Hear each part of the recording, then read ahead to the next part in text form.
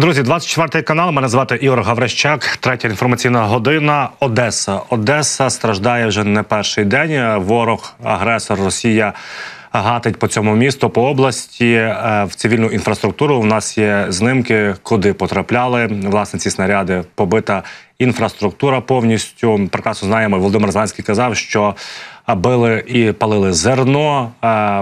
Е, є потрапляння в саме до речі, китайське зерно, яке мало відправитися з Китаю. Сподіваюся, якась від Піднебесної буде реакція адекватна, відповідна, тому що за це зерно заплачені гроші їхні. А, і також е, в нас є повідомлення, що е, нагадаю вам, що вже цього ранку, 21 липня, неодноразово тривала повітряна тривога над Одещиною, і все, що до чого ми дійшли висновку з Сергієм е, Братчуком що в першу чергу, що нам потрібно, це закривати небо над Одесою, над Миколаєвом, над нашими портами, куди росіяни регулярно б'ють. Попри це, в нас є реакція пропагандистів. Вони ж не залишають осторонь у ці удари по Одесі і продовжують брехати, викручувати, маніпулювати. Зараз продемонструємо відео. Є такий мардан пропагандист. Просто нагадаю вам бек. Я не раз про це робив і не буду втомлюватись про це нагадувати. Тому що коли прилітали в неділю в багатоповерхівку в Дніпро ракета, і було багато жертв, то він е, радів, е, просто посміхався і розказував, що я хочу, щоб такі ракети прилітали і в інші багатоповерхівки міст. України зараз же він е, робить себе такого голуба, розповідаючи, що вони не б'ють по цивільній інфраструктурі. Давайте послухаємо. Одесса – это тот самый город, да, про который пел Утесов. Вот что такое Одесса. Ну, скажем так, э, для русского сознания в русском мире. И отдавать ее никаким свиноподобным мы точно не будем. Никогда, ни при каких условиях. И сегодняшняя атака, которую мэр Труханов назвал беспрецедентной – Конечно же, а, эта атака была не против жителей Одессы, конечно же, эта атака была не против а, жителей Украины. То есть этого не было и по сей день нет. Россия не воюет с гражданскими. Россия не воюет с людьми, которых считает своими соотечественниками. Для России, для всех нас – даже вот теоретически рассматривать этот вопрос, ну, как то бомбить Одессу, это то же самое, что бомбить Ярославль или Кострому. Это невозможно. Никак, ни в каком виде. Це він зараз, напевно, себе переконував, тому що є очевидні факти, і це дуже легко перевірити. Просто дивіться, хто там. Е, я більше звертаюся до можливо тих, хто реально дивиться оцього от вибачте, ідіота і може хоч трішки вірити його словам. Будь-які слова пропагандистів ви можете перевіряти. Є доступ, телеграм-канал, який нереально заблокувати. Ви заходите і дивитеся як хочете, ви спочатку дивіться на проросійські зет-пабліки, а потім дивіться на непроросійські зет-пабліки. І там є фотографії і відео, куди як прилітало, і що понищено. Дуже легко перевірити слова цього от е, пропагандиста. Елементарно, просто займіться тим, що перевіряйте всю інформацію, і для вас вся картина буде вималювана, і ви будете прекрасно розуміти, хто де і що каже і де бреше, тому що Одеса страждає, прилітає в цивільну інфраструктуру, є купа ушкоджень, і розповідати, що б'ють по якихось військових цілях, так ви їх тоді показуйте. Якщо ви б'єте по військових цілях, ви просто покажіть, куди ви влучили. Ви не можете цього показати, тому що ви б'єте по цивільній інфраструктурі. А просто слухати ці слова, кажу, займайтесь тим, просто перевіряйте ці слова. Що ж, рухаємось далі. кажуть, що у нас вже є на зв'язку наш кореспондент з Запоріжжя. Запоріжжя це ще одне місто, яке е, окупант, агресор регулярно обстрілює і регулярно по ньому б'є. Вітаю, чи, чути нас? Зараз спробуємо е, знову зв'язатися з нашим кореспондентом із Запоріжжя, аби нам розповіли, що відбувається в самому місті, в області, підконтрольній частині України і, звісно, на окупованих тимчасово територіях, тому що ми знаємо, там феєрія відбувається в області пропаганди, створюють завжди якісь такі. Дуже м'яко кажучи, дивні е, дійства. Е, найгірше, що вони намагаються завжди загітувати дітей. Каже, що є в нас вже на зв'язку наш кореспондент з Запоріжжя. Вітаю, слава Україні! Героям слава вітаю вас. Скажіть, будь ласка, за останні 24 години чи були прильоти в саме Запоріжжя в область? Е, Якщо були, то куди і які руйнування? Е, По самому Запоріжжю е, не було нічних прильотів цієї доби, але атака С-300, масова атака була з Запорізької області в бік Донеччини. Там є в них такий плацдарм е, між Комишзарею і Більмаком. Звідти вони е, стріляють по Донецькій області, намагаючись там уразити наші війська. От звідти був залп з шести ракет. Ну і до того ж, е, Маріупольська влада повідомила, що через Маріуполь протягли в бік Запорізької області додатково три пускових установки С-300 нових, одну Так, бачимо знову у нас проблеми зі зв'язком. Зараз спробуємо знову ж таки перенабрати е, нашого кореспондента з Запоріжжя. Ну е, в першу чергу хочу сказати, слава Богу, що немає влучань по Запоріжжю. От сказав наш колега. Е, нагадаю, що регулярно б'ють по цьому місту. Цього разу не влучали, але скажу вам, що є не просто зараз на саме лінії бойового зіткнення на Запоріжжі, тому що Оріхів, напрямок на Роботине, П'ятихатки, в напрямок на контрольно-пропускний пункт Васильівка, який підконтрольний росіянами. Ми активно працюємо і метр за метром деокуповуємо. І нагадаю, що от Роботине навколо Роботиного, ми вже так його можна сказати з півночі. Вибудували наші позиції, і Роботине помаленьку, помаленьку деокуповуємо. Чи є в нас вже на зв'язку наш кореспондент Запоріжжя? І вже кажуть, що є. Нарешті зв'язок відновлено. На що ти? так. Е, ви мене чуєте? Все добре. Да. Е, Продовжимо. Ну, отже, був залп ракет С-300 по Донеччині Запорізької області. До Запорізької області притягли нові пускові установки цих ракет. На жаль, е, можна чекати загострення ситуації. Що відбувається зараз на фронті? Обласна наша адміністрація звітує про те, що 20 населених пунктів, е, які знаходяться на лінії зіткнення, наш постійний список цих населених пунктів, що на них прийшлося 80 ударів за добу. От в тому числі продовжують е, дуже часто застосовувати керовані авіабомби. Е, Зазвичай їх так по дві бомби на, добу скидали. Зараз було шість ударів. Вже кілька днів поспіль 5-6 кабів прилітає на Гуляльпійщину, на Оріхівщину. Е, на жаль, маємо жертви після тих всіх атак. Е, потрапила один з прильотів був по місцевому інфраструктурному об'єкту. Там були люди, загинули чотири працівники. Їм було 29, 30, 33, 43 роки загиблим. Ще двох поранених направили до е, лікарні. Ну, ось такі сумні наслідки від російських атак. Е, Що відбувається зараз на фронті? Ну, Генштаб офіційно повідомляє, що наші збройні сили мають успіхи на напрямках е, Новоданилівка, Вербове і Новоданилівка Роботине, це на південь від Оріхова, і Новодарівка Приютне, це на межі Запорізької області із Донецькою областю. Е, Мають успіх, закріплюються на досягнутих рубежах і завдають ураження артилерії по цілям противника. Ну, власне кажучи, є відео, як нищать е, наші артилеристи, нищать знайдені ними смерчі на запорізькому напрямку. Смерчі там були добряче заховані у посадках, але все одно по них прилетіло. Добре працює розвідка, точно стріляє артилерія.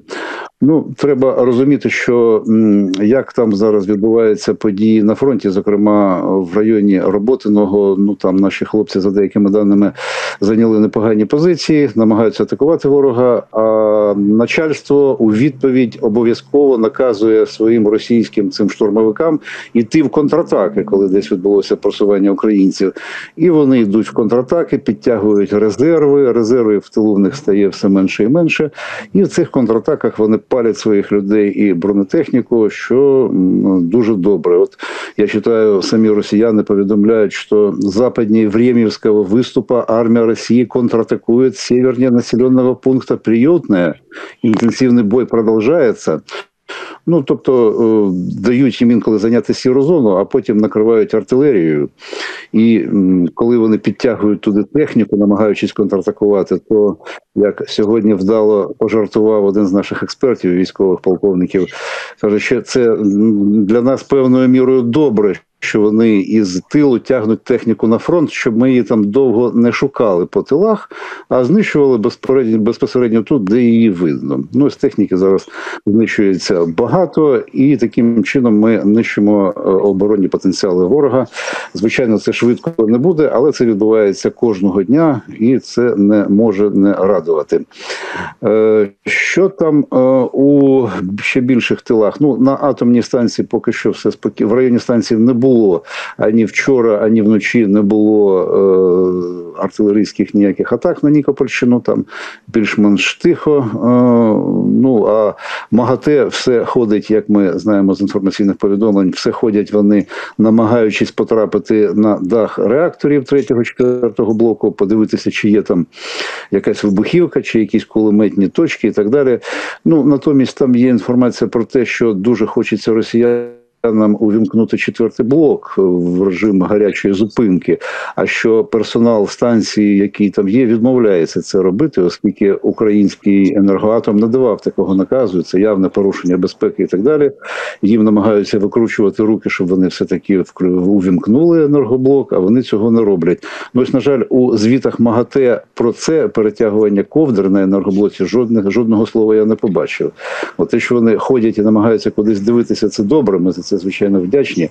Але те, що без наказу експлуатуючої організації енергоатому намагаються щось робити з енергоблоком, ну це порушення таке всіх світових стандартів, що я не знаю, чому МАГАТЕ мовчить. Ну вони знають, чому вони мовчать. А я вам Е, скажу, чому мовчать, тому що Гросі хоче переобратися і будуть вибори. Так що ось що він хоче.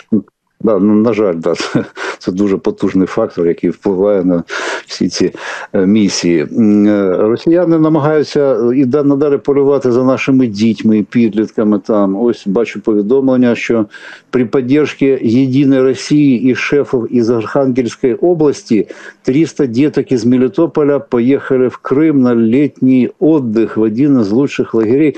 Ну, ну знаєте, навіщо була тут підтримка шефів з Архангельської області, яка знаходиться приблизно в 2,5 тисячах кілометрів від Мелітополя? Раніше це як було? Від Мелітополя взагалі до Джанкоя там 150 кілометрів по гарній дорозі їхати. Тобто доїхали і далі там, в який тобі це при Україні було, в який хочеш напрямок Криму, заїжджай, відпочивай.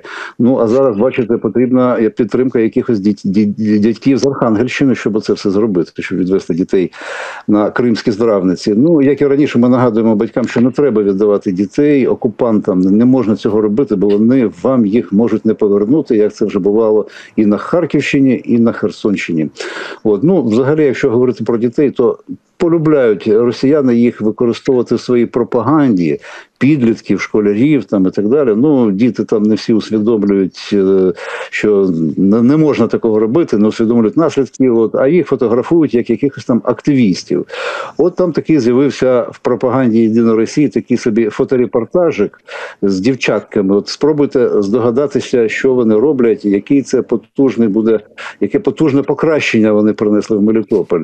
Ми бачимо, що вони клеять на стовпи якісь там е, оголошення дрібним шрифтом, що їх і не прочитаєш взагалі. Виявляється, це єдина Росія. Помогает медицинским учреждениям. Молодогвардейцы размещают информационные объявления по всему городу, чтобы привлечь больше людей к прохождению диспансеризации. Так мы помогаем сохранить здоровье наших граждан и улучшаем качество жизни нашого народу, пишуть вони. Ну, я думаю, що качество життя їхнього російського народу вже нічого не може покращити після тих санкцій, які їм повводили. А на наш народ їм би краще було не зазіхати. Ну, от про це їм кожного дня і нагадують наші Збройні Сили України по цій лінії у Запорізькій області. Скажіть, будь ласка, а яка ситуація при фронту? Я завжди вас питаю, але це важливо, так? Прифронтові міста. Е, Я запитував, е, яке там населення та живе. Ви мені раніше розповідали, що там е, переважно це є люди похилого поважного віку. А попри ці постійні обстріли, чи до них доходить якась гуманітарна допомога? Є змога їм за щось виживати? Тому що зрозуміло прекрасно, що в такому місті, як Оріхів, навряд чи працюють якісь магазини чи будь-що інше. Ну, ось бачите, судячи з загибелі працівників інфраструктурного підприємства, про яке я казав на початку, там дещо все ж таки працює. І так, по е, дорозі, по наявним трасам і на Оріхівщину, і на Гуляйпільщину без проблем можна доїхати, добратися до цих міст. І туди е, допомогу туди привозять регулярно. Наші ДСНСники туди возять пожежними машинами технічну воду, там людям роздають і так далі. Звичайно, що так би мовити, комфорт там мінімальний е, в таких умовах, але люди там залишаються. На жаль, залишаються. Якби ж можна було їх звідти всіх вивезти. Ну, прильоти по 6 керованих авіабомб 500 кілограмових щодня. Ну ви можете уявити, як от таких умовах можуть виживати люди, а особливо пенсіонери, в яких вже і здоров'я не те, і нерви зовсім не ті. От ну одним словом, так люди там залишаються, люди звідси не виїхали, і місцева влада як, як може постачає туди гуманітарку і воду. Ну і я знаю, що там, де немає електрики, там генератори працюють для того, щоб люди могли зарядити свої телефони і якось цим усім жити. А чи правильно розумію, що контрольно-пропускний пункт Васильівка далі не функціонує? Що там зараз відбувається? Бо якщо не помиляюся, ви мене поправите до грудня місяця. Тодою мали змогу українці е, їздити е, на підконтрольну частину України і на тимчасово окуповану. Зараз цей КПП повністю закритий. Так, з грудня, справді, з грудня місяця він зовсім не працює. Там щось росіяни обіцяли його відкрити, мотивуючи, що там в нього які, якісь зимові канікули там чи перерва якась буде на новий рік, але не відкрили. Я нагадаю, що тоді ситуація там була спокійніша ніж зараз. От, але зі своїх якихось внутрішніх міркувань вони цього не зробили. Ну щоб. Щоб люди не утікали сюди на підконтрольну Україну територію, бо вони зрозуміли, що їм же ж там так, також якесь населення потрібне, щоб давати йому російські паспорти і показувати у російських пропагандистських роликах. Так, зараз можна виїхати з окупованих територій тільки через російську територію, а потім через Росію у Європу, і таким чином вже добратися, якось дістатися України. Е, Є люди, які цей шлях проходять. Ясна справа, що їх небагато, оскільки для цього потрібні гроші і матеріальні ресурси. От однак я сьогодні читав останній такий розповідь жіночки, яка недавно проїхалася цим шляхом з е, окупованої Запорізької території. І дісталася вже отак, от за, тисячі кілометрів дісталася батьківщини, але з іншого напрямку. А скажіть, будь ласка, яка ціна, яка ціна питання от виїхати з е, тимчасово окупованих територій? От орієнтовну суму, яку має зібрати українець, аби покинути окупаційні е, окупаційну владу, яка тисне постійно? Ну, е, я бачу, що йдуть там, йде мова про суми порядка трьох тисяч доларів. Е, Ми розуміємо, що для багатьох мешканців окупованих територій це непідйомна сума, а тим більше після того, як вони там е, півтора, більш ніж півтора роки вже прожили в умовах окупації, навіть ті, ті, у кого були такі гроші, вони їх, мабуть, вже витратили на те, щоб якось прожити.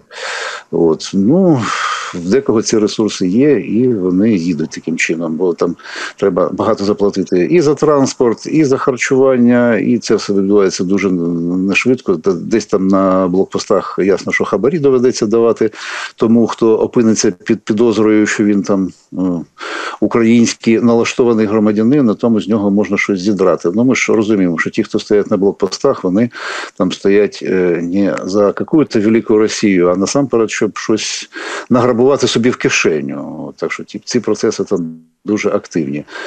От, ну одним словом, так це дуже недешево виїхати звідти, звідти, і не всі це можуть собі дозволити.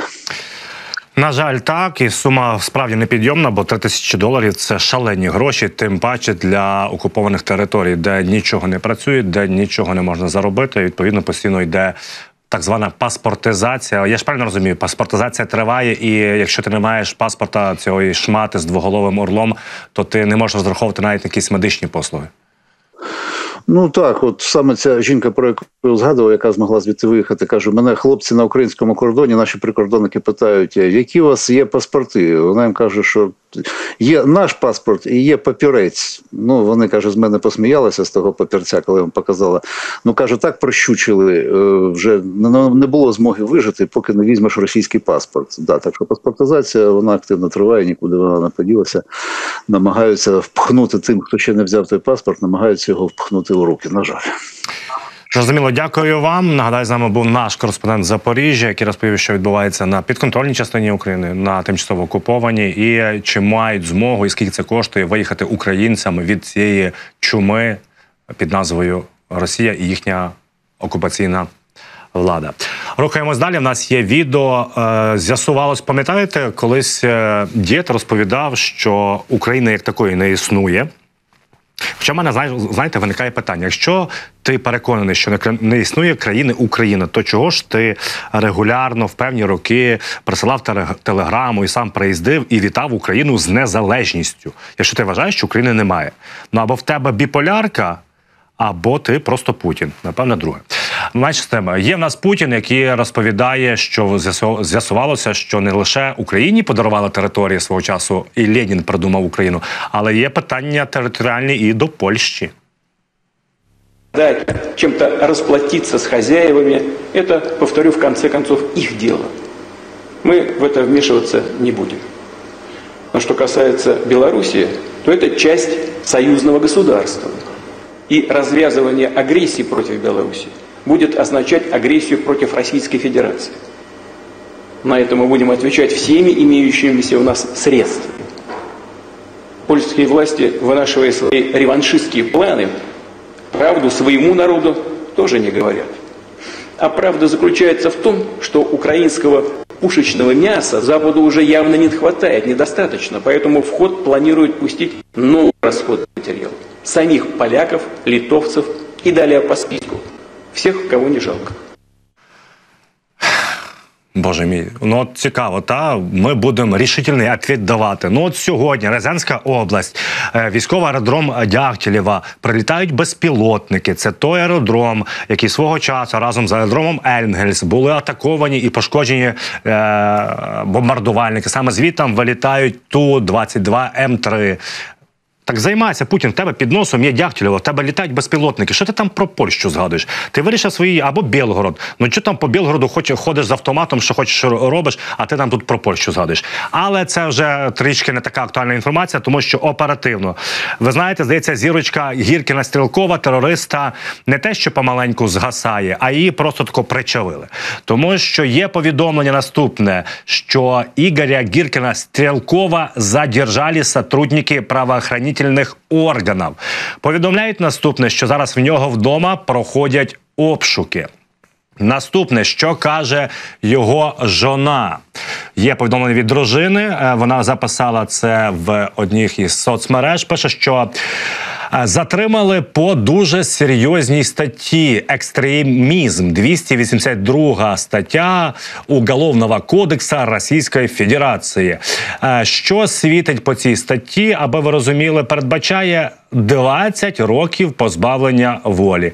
Тому, господин Навальний, готуйте трішки для себе нари, прочищайте. Біля вас буде сидіти Гіркін Стрілков. Мало мені віриться, знаєте, що там відпустять його як Пригожина. Так ну Пригожина затримали, але Пригожин втік. Отак я думаю, що це Гіркін Стрілков, нагадаю, який в 2014 році атакував. Е, Україну і заходив в наше місто Слов'янськ, який збивав е, цивільну авіацію. От бачимо, бумеранг прилітає від своїх же. Він воював за Росію, а тепер сама Росія буде його і ув'язнювати. Мені дуже і дуже підходить, аби оці от павуки в банці гризлися, гризлися і ще раз гризлися. От зараз зга- зга- згасла зірка Кіркіна, догасає. Я більш чим переконаний, що мінімум двадцятку йому впаяють. Звідки він буде писати свої відосики, е, YouTube розвивати, тому що не буде звідки. Ну і питання про Пригожина також, так тому що він з Білорусі записав відео, що він цитую, не хочу брати е, участь в цьому позорі, що відбувається на фронті. Він має на увазі те, як веде Росія війну. Але я так зрозумів, що Пригожин трішки має більше мізків. Якщо вони є, і йому таки вдалося якось домовитися, чи що там було, ми ж не знаємо. Ми тільки знаємо те, що нам кажуть. Йому вдалося втекти в Білорусь. Бачимо, гірку не пощастило Гіркіну Стрілкову. От нагадаю ще раз, Гіркін Стрілков заарештований, і він же очевидно нікуди не зможе подітись. До речі. Ще встиг перед цим затриманням Гіркін е, розповісти е, про наступне, як під вугледаром батальйон з Казані був повністю розтрощений. От під час лютневих боїв за Вугледар. Я вам нагадаю, Вугледар Донецької області це місце, де найактивніше збройні сили України роздавали флаєрочки на Кобзо на концерт Кобзона. Там завжди була черга. Цю чергу завжди задовільняли, всім вручали, всім вистачало послухати пісні париконосця. Так, от під час лютневих боїв за Вугледар сформований в Татарстані батальйон Алга був практично знищений через дурість командирів. Про це в одному з інтерв'ю розповів колишній польовий командир, а тепер вже ув'язнений, очевидно, командир е, бойовиків ДНР Ігор Гіркін. Там мала місце, як мене е, мені говорили, дурість. Фактично, підрозділ був розгромлений, не вступивши в бій. За його словами, перед е, висуненням в атаку командири влаштували імпровізований мітинг. І щоб ви розуміли, вони зібрали цих от бійців з батальйону Алгаз Татарстану в кучку, аби щось їм розповісти. Але швидше їм гарну історію казочку розповіла українська артилерія. Відповідно, 200-х, 300-х там було більш чим достатньо. Є вже нас на зв'язку Олександр Коваленко, військово-політичний оглядач групи інформаційний спротив. Пане Олександр, хотів розпочати з іншого, але оперативна інформація. Пишуть, що силовики затримала Гіркіна Стрілкова. Як ви вважаєте, ще це надовго? Бо йому ніби 282 стаття екстремізм е, хочуть впаяти. І чи йому вдасться е, домовитись як Пригожну, чи все ж таки він е, така мілководніша риба і його посадять? Ну як це воно мілководніша риба? Він з 22-го року критикує так звану СВО постійно. Ну як це може бути? Там, якщо якийсь пересічний а, громадянин, так званий громадянин так званої Російської Федерації, якщо там навіть вийде з ну якимось білим аркушем папіру на вулицю та постоїть там 10 хвилин десь на перехресті, то його вже заарештують та відправлять в колонію звідки в нього вихід буде тільки один через ПВК Вагнер. Був о, донедавна. Але о, до Гіркіна це не стосувалося. Він ну досить так серйозно мочив Міністерство оборони Російської Федерації та не тільки загальну російську армію ще до того, як Пригожин це зробив мейнстрімом. Ну він закон Гіркін він був законодавцем цієї моди, називаємо це так але його ніхто не чіпав. Зараз е, вже почали чіпати. А що відбувається? Відбувається внутрішня дійсно конфронтація, бо Гіркін це все робив тільки тому, настільки е, вільно, тому що він мав патронат. Отже, той, хто забезпечував йому цей захист, цей патронат, вони також знаходяться зараз в опалі. Я навіть не виключаю, що це саме ті ж самі е, персоналі, які забезпечували безпеку і Пригожину гарантії, якісь йому давали, або підтримували Пригожина. А не дивлячись на те, що вони постійно знаходилися в стані такої перманентної сварки, але це все медіа, це все інтертеймент. Ось якщо ми говоримо про США, то інтертеймент це WrestleMania де є а, якісь там а, бійці, які один з одним там вони а, змагаються за першість, за якісь місця, там в них якісь локальні конфлікти, але це все виключно для споживача цього продукту. Так само для Росії, то тільки Росії на Росії це не а, якийсь Версталманія аналог, а це Гіркін та Пригожин, Пригожин та Шойгу та Герасимов. В них свої реалії деградовані, трошки такі а, ну збочинці вимагають свого своїх реалій. Їм такі реалії дають. Отже, Гіркін. Це тимчасово, на мій погляд, явище. Він не стане там другим а, Навальним, наприклад якимось там героєм, якого будуть канонізувати, але не ліберали, а вже його споживач, його електорат. Пане Олександре, мене от цікавить, е, як ви вважаєте, чи справді мав якийсь е, протекцію Гіркін в ешалонах е, кремлівської влади, тому що очевидно, що до них до нього прийшли з обшуком. Він був за місцем прописки. Очевидно, він не дуже то переховувався. Попри те, що він, от як ви згадали, та з 22-го року ну просто криє Кремль і Путін всім, чим можна. Можемо ми аналізувати і казати, що він був переконаний, що в нього є криша. Так, безумовно. Так. Але зараз починається досить серйозна конфронтація. Ну, ми ж бачимо, що відбувається, наприклад, в Міністерстві оборони Російської Федерації. Ми бачимо, що вже досить чітко відрізняються три групи впливу. Перша група впливу це та, яка підтримує Шойгу та Герасимова. В першу чергу Шойгу, бо Герасимов це трошки інша історія, але вони між собою дуже споріднені. А друга група впливу це група впливу а, Луб'янки, тобто це кишенкові генерали Міністерства оборони, яких купувала ФСБ. А, до них відносяться ну, той самий Суровікін, Мізінцев, Дюмін. Є третя група впливу це голуба кров. Це саме ті офіцери, які з покоління в покоління переходять у ця естафета е, офіцерського спадку, називаємо це так. І ну до речі, це саме ті генерали, які зараз заявляють, що дії е, керівництва міністерства оборони е, самого міністра оборони вони не є професійними. Тобто, Попов. Що там сталося з Поповим? Що вже більше не командує 58-ї загальновійськової армії, а знову ж таки його виводив ці його претензії до контрбатарейної боротьби. А виводив світ Гурульов. Так, Гурульов він а, алкаш, це правда. Угу. Він алканавт.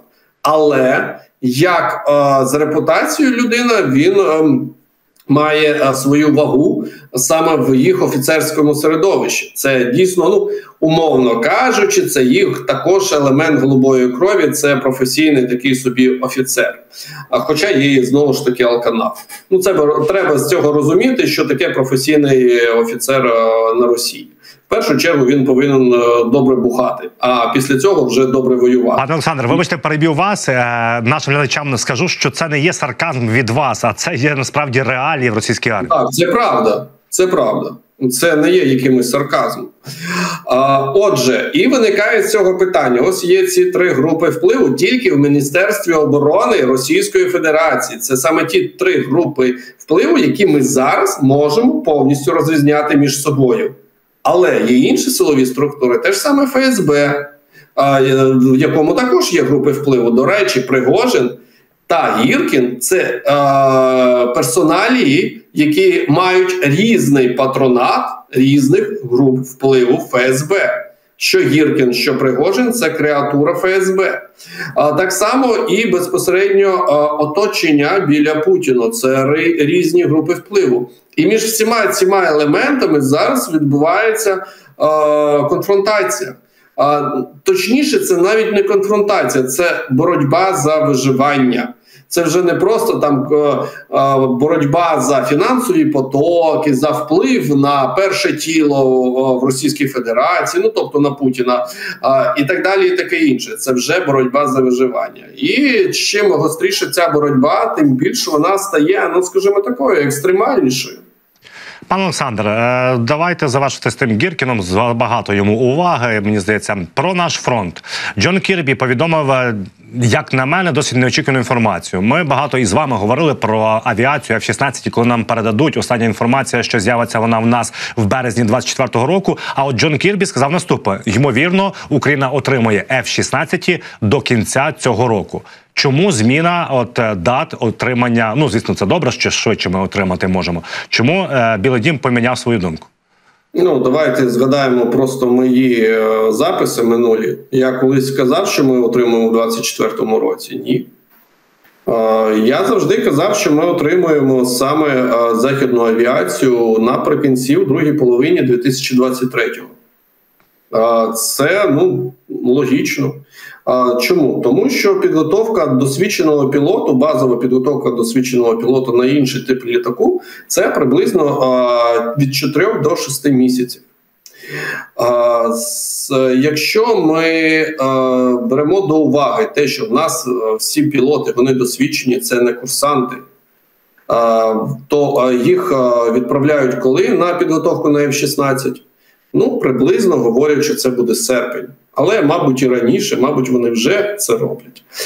А, Ну і рахуємо 4 місяці. Чому саме 4, а не 6? А тому, що на сьогодні ми не робимо це на лайтово, це не в розвалочку, як то кажуть. Для нас це питання виживання, і це також розуміють усі наші спеціалісти, які відправляють на захід, будь-то, наприклад, опануванню гаубиці М777, будь то танку Леопард 2 або Челенджер 2, будь то якоїсь іншої техніки. А західні інструктори вони завжди говорять, що вони здивовані тим, як українські військові вони дуже швидко опановують усю техніку.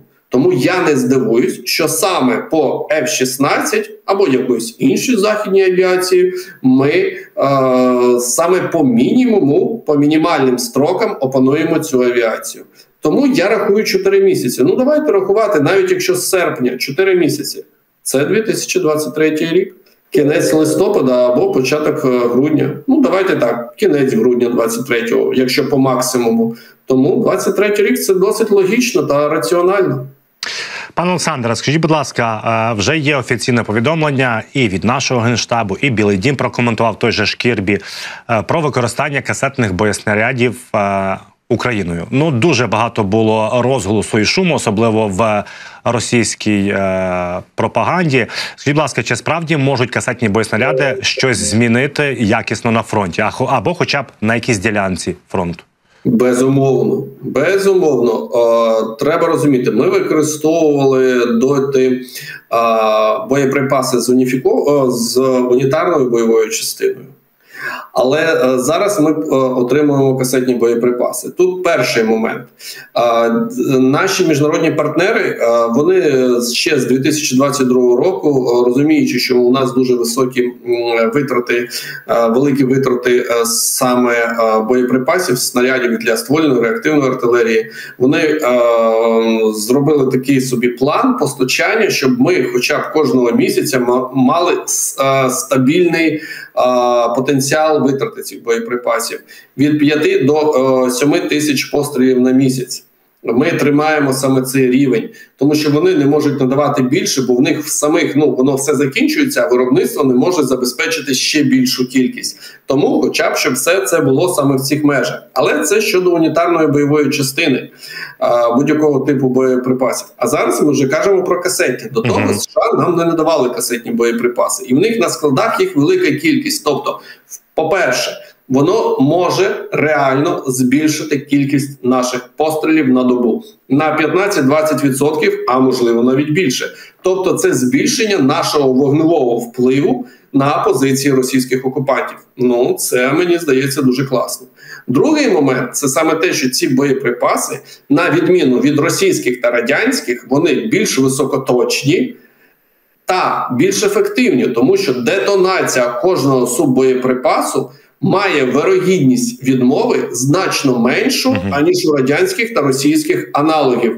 Тому і вони а, вибухають, ну скажімо так, більш ефективніше аніж російські та радянські, і все це безумовно тільки підвищить наші можливості по знищенню їх живої та е, сили та техніки. А якщо ми збільшимо можливості по знищенню окупантів. Ну, це тільки нам е, допоможе звільняти ще більше наших територій.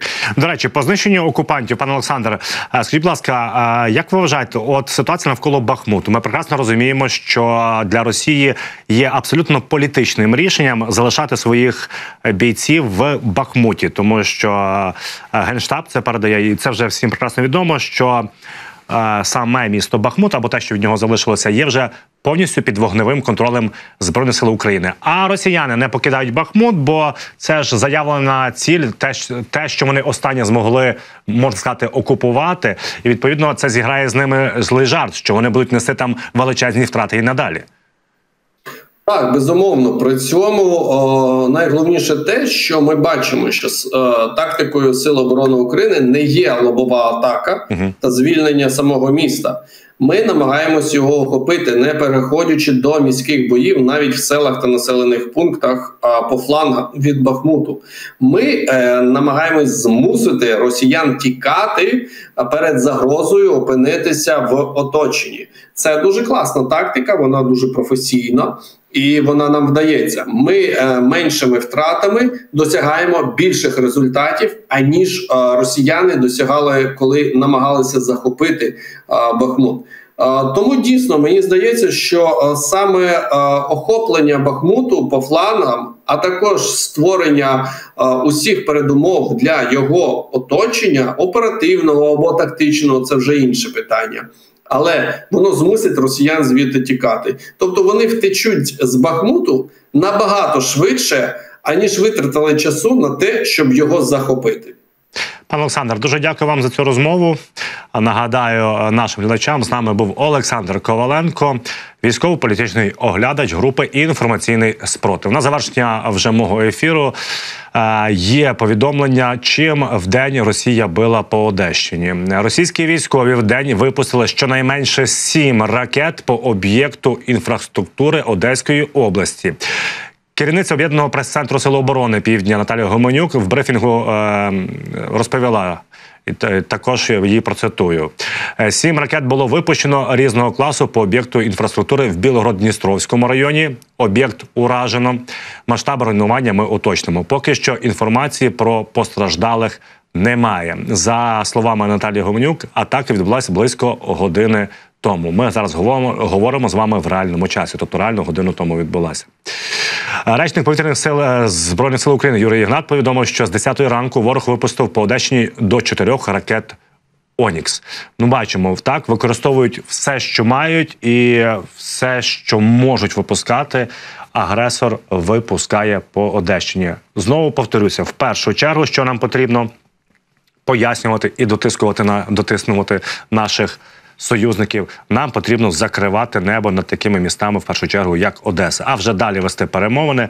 Зерновий коридор, хто має його конвоювати, чи не потрібно його конвоювати, чи потрібно шукати альтернативні шляхи, але в першу чергу закрити небо над Миколаєвом і Одесою.